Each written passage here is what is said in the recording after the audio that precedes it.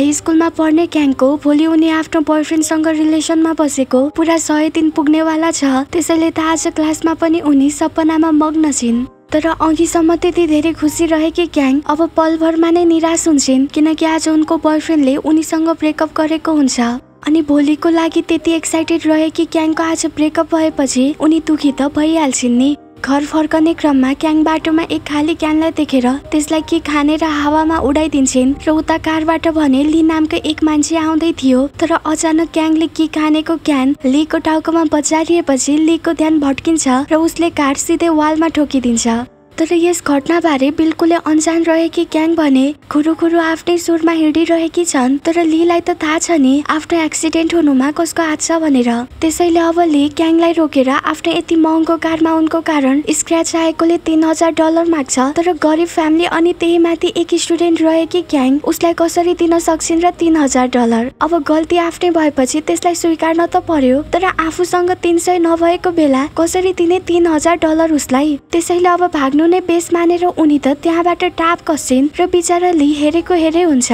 तर हतारमा उनले आफ्नो पर्स भने त्यही छाडेर आइछन् जसलाई लीले फेला पारिसकेको छ। जसमा भएको उनको आइडी कार्डबाट लीले उनको बारेमा धेरै कुरा थाहा पाउँछ।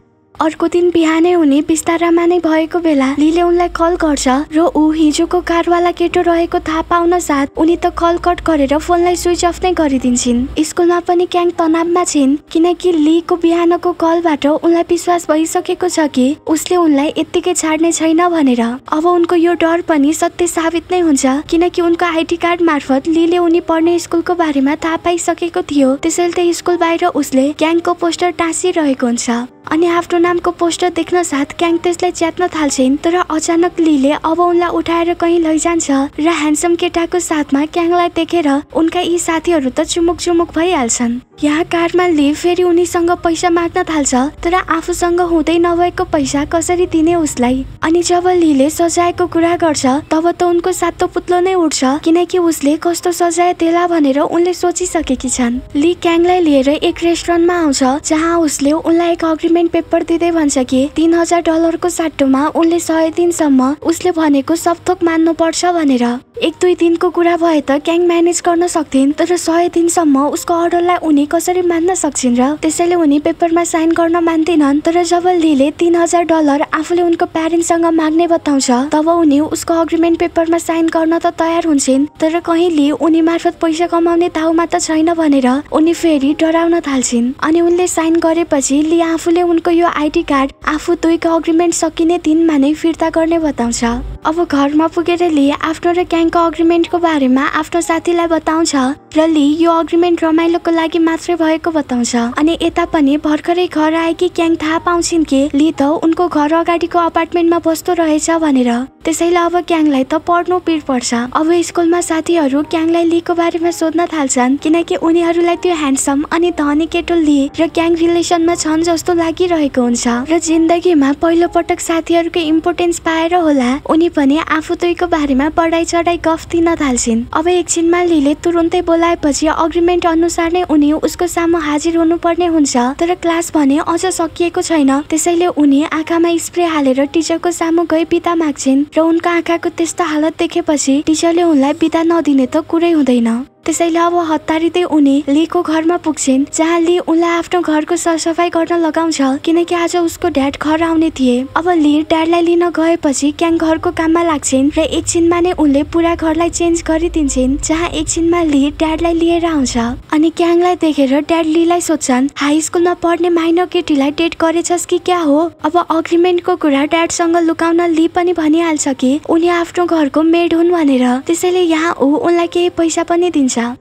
तर फाइनल इक्जामको चिन्ता पहिले नै भएको बेला लीले त अब क्याङको गिदी नै खान थाल्छ किनकि लीले बिचारी उनलाई नोकर नै बनाइसकेको छ। दिनहरू अब यसरी नै बित्दै जान्छ। ली आफ्नो हरेक काम क्याङसँग गराउन थालेको थियो भने कतै मम ड्याडसँग उसले पैसा माग्ने हो कि भन्ने पिडले पनि उनी उसले भनेको मान्न बाध्य छिन्। कहिले काहीँ ऊ उनलाई मुभीमा लैजान्थ्यो तर उसको काममा व्यस्त हुन परेपछि उनलाई त मुभी स्टार्ट भएको र इन्ड भएको पत्तै हुन्थेन। अनि एक दिन क्याङको ड्याड साइडमा रहेकी केटीलाई आउन यति मस्त हुन्छन् कि अगाडिको कारलाई उनले ठक्कर दिएको पनि मेसै पाउँदैनन्। तर उनकी छोरी क्याङले त बाउको यो चढ्ती कला देखिसकेकी थिइन्। ड्याडको कारमा स्क्रैच आएको रहेछ त्यसैले बाउ छोरी कार रिपेयर गर्न आएका हुन्छन्। जहाँ क्याङ थाहा पाउँछिन् कि कार महँगो सस्तो जस्तो सुकै भए पनि त्यसको स्क्रैचलाई मेटाउन तिन हजार डलर लाग्दो रहेनछ र निकै कम पैसामा नै काम बन्दो रहेछ भनेर। त्यसैले अब क्याङलाई त खपि नसक्नु रिस उठ्छ किनकि लीले उनीसँग झुट बोलेर अग्रिमेन्टमा साइन गराई नोकरलाई झै काम गराएको थियो। त्यही भएर घरमा आएर उनी लीको नामको पुतलालाई लचारेर आफ्नो रिस शान्त गर्छिन्। तर अब लीलाई उनी यत्तिकै छाड्न पनि सक्दिनन्। त्यसैले अर्को दिन उसको कारलाई उनले स्प्रे गरिदिन्छन् र साथमा त्यहाँ केही लेख्छिन् पनि। आफ्नो यति महँगो कारको यो हालत देखेर लीलाई पनि अति नै रिस उठ्छ। तर मेकानिकले कारको कलर नजाने भएकोले सिसा नै फेर्नु पर्ने बताएपछि उसको रिसले त आकाशलाई नै छुन पुग्छ। अब ली रोडमा हिँड्दा मानिसहरूले उसलाई रिस भरिएको आँखाले हेर्दा ली अचम्म पर्छ। तर अगाडि क्याङको चढ्ती कला देखेपछि उसलाई बुझ्न बेर लाग्दैन कि क्याङ उसलाई बदनाम गर्दैछिन् भनेर। किनकि अगाडि उनी उसको फोटो लिएर लीले आफू र आफ्नो बच्चालाई छोडेर गएको भनेर नाराबाजी लगाउँदै थिइन्। तर यो देखेर पनि ली हात पटाएर बस्न त सक्थेन त्यसैले ऊ त्यस हुलबाट उनलाई लिएर आउँछ जहाँ ली थाहा पाउँछ कि क्याङलाई उसले बोलेको तिन हजार डलरको छुट थाहा भएछ भनेर। यहाँ ली उनले आफूसँगको अग्रिमेन्ट तोडिन् भने पुलिस केस गर्ने धम्की दिन्छ। तर क्याङ पनि के कम उनी पनि फ्रडको केसमा उसलाई फसाउने बताउँछिन्। अर्को दिनले उनलाई भेट्न बोलाएको हुन्छ तर उनी त सिधै उसलाई मनाही गरिदिन्छन्। त्यसैले अब ऊ स्कुल बाहिर उनको पर्खाइमा बस्छ तर उनी त उसले आफूलाई भेटाउनु अघि नै घर पुगिहाल्छिन्। घरमा अब उनी ममको खुट्टा समातेर आफूले स्कुल ट्रान्सफर गर्न चाहेको बताउँछिन् तर मम मान्दैनन् किनकि कलेज इन्ट्रान्स एक्जाम नजिकै छ र यस्तोमा उनी छोरीको स्कुल कसरी चेन्ज गर्न सक्छिन् र अब एक दिन ममले कम पैसामा पनि प्राइभेट ट्युटर हायर गर्न मिल्ने कुरा लेखिएको प्याम्पलेट घरमा देख्छिन् र कम पैसामा प्राइभेट ट्युटर मिल्ने खबरले त मम त्यसै खुसी भइहाल्छिन्। किनकि आफ्नी छोरी क्याङ पढाइमा कति कमजोर छिन् भन्ने कुरा ममलाई राम्रोसँग थाहा छ तर प्राइभेट ट्युटरको त्यो पोस्टर त लीले लगाएको रहेछ जसमा मम फसिसकिन्। त्यसैले त अर्को दिन नै ली टिचर बनेर क्याङलाई पढाउन उनको घर आउँछ जहाँ क्याङ लीलाई देखेर तर्सिहाल्छिन्। तर अब मास्टर बनेर आएको ली थाहा पाउँछ कि क्याङ पढाइमा कति लद्दु रहेछन् भनेर। त्यसैले अब उसले उसलाई पढाउन सुरु गर्छ। केही दिन अब यसरी नै बित्छ र तब एक दिन लीको साथी लीलाई बताउँछ कि एक न एक दिन क्याङ र ली रिलेसनमा बस्नेछन् र चाँडै श्रीमान श्रीमती पनि बन्नेछन् भनेर। तर साथीको कुरा सुनेर पनि ली त्यसलाई इग्नोर गरिदिन्छ।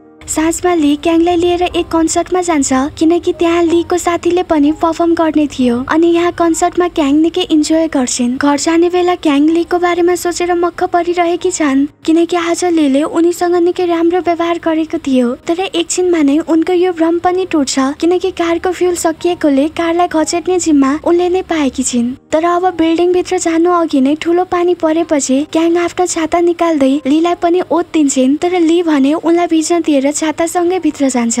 तर पनि उनी यहाँ लीसँग रिसाएकी थिएनन् किनकि आजकल उनी लीतर्फ खिचिन थालेकी छन्। त्यसैले घरमा आएर पनि उनी उसलाई मेसेज गर्छिन् जहाँ उनको मेसेजको रिप्लाईमा ली अर्कै कुरा लेख्न चाहन्थ्यो। तर पछि त्यसलाई डिलिट गरेर अर्कै लेख्छ सायद उनलाई सताउनको लागि होला। यानि कि क्याङ मात्रै होइन ली पनि उनीतर्फ खिचिन थालेको रहेछ।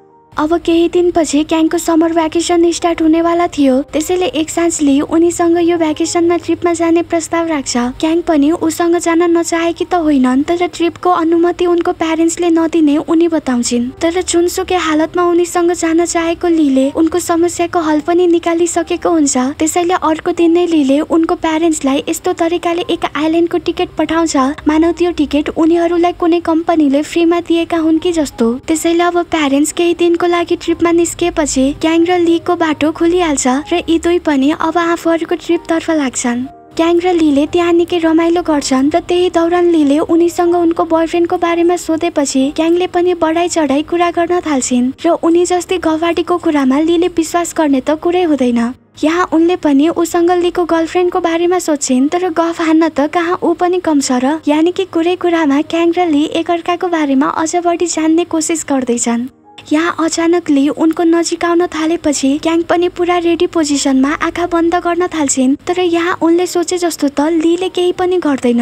अर्को दिन उनीहरू बन्जी जम्पिङको लागि आएका हुन्छन् जहाँ केही मान्छेहरूले क्याङको मजाक उडाउँदा लीको पारा ताच्छ। यानि कि आफूले बाहेक क्याङले अरू कसैले होच्याएको उसलाई मन पर्दो रहेनछ। यता क्याङ भने हाइटको कारण बेहोस भएर तल खस्छिन् तर सही समयमा ली हाम फालेर उनलाई समातिहाल्छ। हस्पिटलमा ली उनको लागि निकै चिन्तित थियो जहाँ उसको आँखामा आफ्नो लागि यति धेरै चिन्ता देखेर क्याङ पनि सोचमा डुब्न थाल्छिन्। भोलि क्याङका मम ड्याड ट्रिपबाट फर्कने थिए त्यसैले उनीहरू घर आउनु अघि नै ली उनलाई लिएर घर फर्किन्छ जसले गर्दा मम ड्याडलाई शङ्का पनि हुँदैन। अनि यता ली भने आफू दुईको तस्बिर हेरेर मुस्कुराइरहेको छ र अर्को दिन ली सम्झिन्छ कि भोलि क्याङ र उसले अग्रिमेन्ट गरेको सयौं दिन पुग्नेछ भनेर। त्यसैले अब ली भोलिको लागि पार्टीको तयारीमा जुट्छ जहाँ लीले क्याङलाई इन्भाइट नगर्ने त कुरै हुँदैन। तर क्याङले त अग्रिमेन्टको बारेमा बिर्सिसकेकी रहेछन्। त्यसैले त भोलि उसको बर्थडे रहेछ भनेर उनी मक्ख परिरहेकी छन्। अर्को दिनको साँझ उनी पार्टीमा पुग्छिन् जहाँ लीका साथीहरू पनि थिए। यहाँ जब लीले आफू दुईको एग्रिमेन्ट पेपर जलाइदिन्छ तब क्याङ बुझ्छिन् कि आज लीको बर्थडे रहेनछ भनेर।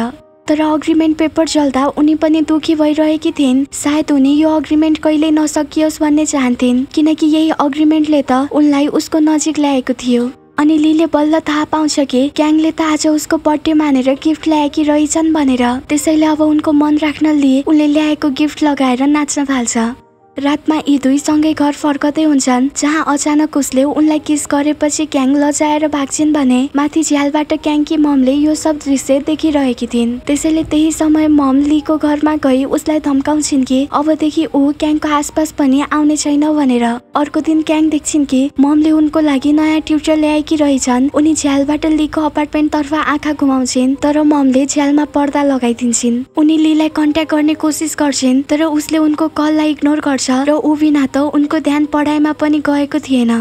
अनि एक दिन अचानक उनको भेट लीसँग भएपछि उनी खुसीले गदगद हुन्छन्। तर ली यहाँ पनि उनलाई इग्नोर गर्दै थियो किनकि त्यस दिन क्याङ्की ममले लीलाई भनेको कुरा उसले बिर्सेको छैन। तर पढाइमा कति पनि ध्यान नभएकी उनी लीलाई आफू उसँग बिहे गर्न चाहेको बताउँछिन्। तर त्यस रात उनको मम र आफू बीच भएको कुरा उनीबाट लुकाउन यहाँ लीले आफूले उनीसँग टाइम पास मात्रै गरेको भने उनको चित्त दुखाएर जान्छ। तर लीलाई उनले त्यति सजिलैसँग कहाँ भुल्न सक्छिन् र त्यसैले त कहिले किताबमा उसको फोटो राखेर पढे जस्तो गर्छिन् भने कहिले पेज भरिने गरी उसको नाम मात्रै लेख्छिन् र उनको यस्तो प्रेम रोगले त उनको न्यू टिचर पनि हैरान परिसकेकी छन्। एक साँझ क्याङको भेट फेरि लीसँग हुन्छ तर अझ पनि त्यस दिन उसले बोलेको झुटलाई साँचो माने कि क्याङ यहाँ उसँग आफ्नो मन दुखाउनुको कारण सोध्छिन्। तर ली केही नबताइकन जान्छ सायद ऊ उनको ममको कारण आफूले यस्तो गरेको कुरा उनलाई थाहा नहोस् भन्ने चाहन्छ। अर्को दिन ली आफ्नो सामान प्याक गर्दै थियो किनकि ऊ सदाको लागि यो एरियालाई छाडेर अर्कै ठाउँमा सिफ्ट हुन चाहन्छ किनकि सधैँ जसो क्याङको सामु आएर ऊ उनको पीडा झन् बढाउन चाहन्थेन। जानु अघि उसले क्याङको लागि एक लेटर र रिङ छाडेर गएको रहेछ जसलाई देखेर क्याङ बुझ्छिन् कि ली पनि उनलाई निकै माया गर्दो रहेछ र केही बाध्यता परेर नै त्यस दिन उसले आफ्नो मन दुखाएको रहेछ भनेर। त्यसैले अब भाग्दै उनी उसको बिल्डिङमा पुग्छिन् तर ली त त्यहाँबाट गइसकेछ त्यसैले यहाँ उनी भक्कानिएर रुन थाल्छिन्। तर अब क्याङ पढाइमा निकै मिहिनेत गर्न थालेकी छन्। पहिले कति पनि पढ्न नरुचाउने क्याङको आजकल किताब नै साथी बनिसकेको छ। तर आज पनि लीलाई नसम्झिएको उनको कुनै दिन बितेको छैन र सायद उता लीको पनि यस्तै छ होला स्थिति। अनि लीको लागि नै क्याङले पढाइमा यति मिहिनेत गर्न थालेकी रहेछन् किनकि उनी पनि ली पढ्ने युनिभर्सिटीमा नै एडमिसन लिन चाहन्छन् जहाँ पक्कै पनि उनको भेट उसँग हुने थियो। अब कलेज इन्ट्रान्स इक्जामको दिन आउँछ तर रिजल्ट आएपछि क्याङ आफ्नो त नामै ननिस्केको थाहा पाउँछिन्। त्यसैले दुखी उनलाई सम्हाल्न उनकी ट्युटरले आज उनलाई बाहिर ल्याएकी हुन्छन्। त्यो सुनसान रातमा क्याङ त्यहाँ एक्लै थिइन् किनकि टिचर बाथरुम गएकी हुन्छन्। र तब अचानक अघिसम्म अन्धकारले ढाकिएको त्यो ठाउँ अब उज्यालोमा जगमगाउन थाल्छ। अनि अचानक त्यहाँ उनको सामु ली आउँछ जहाँ उसले उनलाई एक पेपर दिन्छ जसलाई देखेर उनी अचम्म पर्छिन्। किनकि उनका एडमिसन ली पढ्ने कलेजमा भइसकेछ।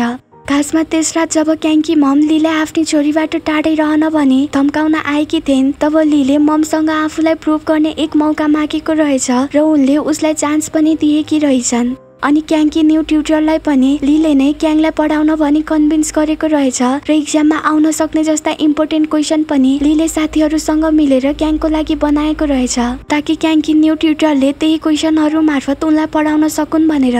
यानि कि ली उनको साथमा नहुँदा पनि उसले उनको लागि धेरै काम गरेको रहेछ र उनलाई पाउनको लागि नै ऊ उनीबाट अलगिएको रहेछ। अनि आज रिजल्ट आउने दिनमा पनि उसले नै टिचरलाई मनाएको रहेछ कि कलेजमा एडमिसन पाएका स्टुडेन्टको नेम लिस्टमा उनको नाम नलेखियोस् भनेर। किनकि ऊ उनका एडमिसन सर्टिफिकेट उनको हातमा राखेर उनलाई यति ठुलो सरप्राइज दिन चाहन्थ्यो। अनि सबै कुरा थाहा पाएपछि क्याङ बुझिन् लिएर आफ्नो साथ त कहिले टुटेको नै रहेनछ। एकअर्काबाट टाढा रहेर पनि आफू दुई एकअर्काको साथमा नै थिए। अनि यहाँ उनीहरू दुई एकअर्कालाई कसेर अँगाल्छन् र उनीहरू यहाँ एकअर्कालाई चुम्बन पनि गर्छन् र यसैको साथमा कहानीको ह्याप्पी एन्डिङ हुन्छ। Hey guys thank you so much for watching हामीले हाम्रो एनिमेसन च्यानलमा the secret life of page नामको निकै नै रमाइलो डग मुभी अपलोड गरेका छौँ। त्यसैले त्यो भिडियोलाई हेरेर हाम्रो नयाँ च्यानललाई पनि सपोर्ट गर्न नबिर्सिनुहोला।